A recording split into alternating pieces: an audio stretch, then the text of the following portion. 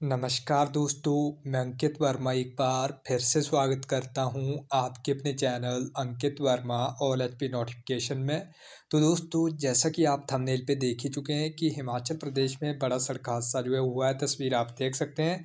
तो कहाँ पर ये सड़क हादसा हुआ है, पूरी जानकारी आपको इस वीडियो में देने वाला हूँ। वीडियो पर एंड तक बने रहिए।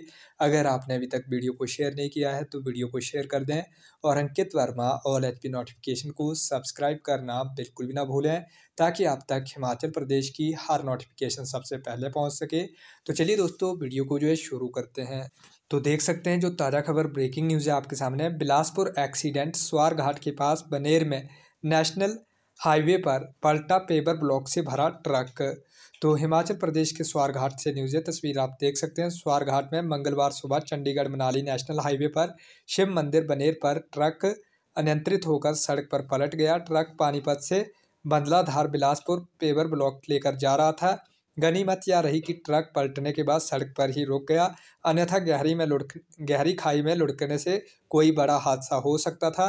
ट्रक चालक कपूर दिन निवासी गाँव अलो तहसील अम्ब जिला ऊना को मामूली रूप से चोटें आई हैं। हादसे में ट्रक चालक कपूर दिन के साथ इसका बेटा शमशेर मोहम्मद भी बैठा हुआ था, जिसे कोई भी चोट नहीं आई है। घटना की सूचना मिलते ही स्वारघाट पुलिस मौके पर पहुंचकर छानबीन में जुट गई। घायल चालक को 108 एंबुलेंस के माध्यम से स्वारघाट अस्पताल पहुँचाया गया है, जहाँ उसका उपचार जो है किया जा रहा है। तो दोस्तों, ये थी ताज़ा खबर ब्रेकिंग न्यूज़ हिमाचल प्रदेश के बिलासपुर स्वारघाट में ये सड़क हादसा हुआ है। अगर आपने अभी तक वीडियो को शेयर नहीं किया है तो वीडियो को शेयर कर दें और Ankit Verma all H notification को सब्सक्राइब करना बिल्कुल भी ना भूलें, ताकि आप तक हिमाचल प्रदेश की हर नोटिफिकेशन सबसे पहले पहुँच सके। धन्यवाद। जय हिंद। जय भारत।